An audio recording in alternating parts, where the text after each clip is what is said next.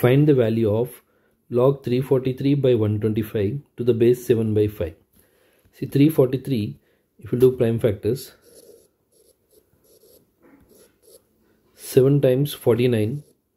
and 7 times 7. So 343 you can write as 7 cube. And in the same way 125 you can write like 5 times 25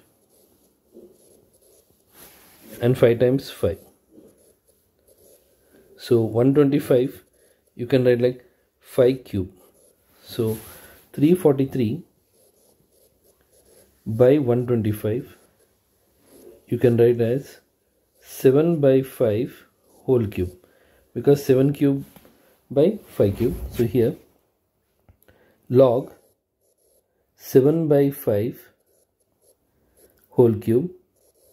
by 7 by 5 now here this I'll use the identity that is like log a power m to the base x logarithm of power equals m log a to the base x so here in place of m we have like 3 so 3 log 7 by 5 to the base 7 by 5 again I'll use the identity that is log